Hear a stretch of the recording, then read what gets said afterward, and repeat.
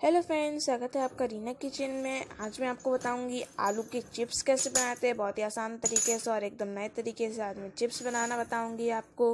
बहुत ही जल्दी बन जाएँगे ना टाइम लगेगा। बस थोड़ा सा टाइम में ही ये चिप्स बन के तैयार हो जाएँगे। मेरी रेसिपी को ज़रूर लाइक कर दीजिएगा। तो चलिए रेसिपी स्टार्ट करते हैं और आज आपको बताते हैं आलू चिप्स कैसे बनाएँ। मैंने यहाँ पे ले लिए आलू। आज मैं आपको बताऊँगी आलू चिप्स कैसे बनाएँ। हम आलू को छील लेंगे। हमें आलू को छील छील कर पानी में डालना है। पानी में डालने से आलू हमारे काले नहीं पड़ते हैं। इस प्रकार आपको सभी आलू छीलते आना है और पानी में डालते आना है। हमें मशीन से, मैंने मशीन से इस प्रकार आलू के चिप्स काट लिए हैं।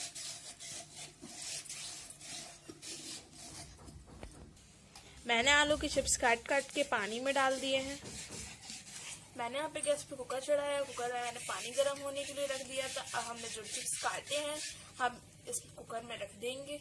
हम इसके बाद हमारे जब चिप्स उबल जाएँगे फिर हम इन्हें धूप में डाल देंगे। मैंने अपने चिप्स डाल दिए थे उबलने के लिए। अब मेरे जो चिप्स है वो उबल चुके हैं। हम इन्हें धूप में डाल देंगे इससे हमारे चिप्स सूख जाए। जब हमारे चिप्स उबल चुके थे तो मैंने इन्हें एक चादर में धूप में डाल दिया सूखने के लिए। जब हमारे चिप्स सूख जाएँगे तो हम इन्हें उठा लेंगे। हमारे आलू के चिप्स अब सूख चुके हैं, आप देख सकते हैं। मैंने इन्हें तेल में फ्राई कर लिया, आप देख सकते हैं इनका कलर कितना अच्छा है और खाने में भी बहुत टेस्टी लगते हैं। आप इस रेसिपी को ज़रूर ट्राई कीजिएगा और कमेंट बॉक्स में बताइएगा आपको मेरी रेसिपी कैसी लगी।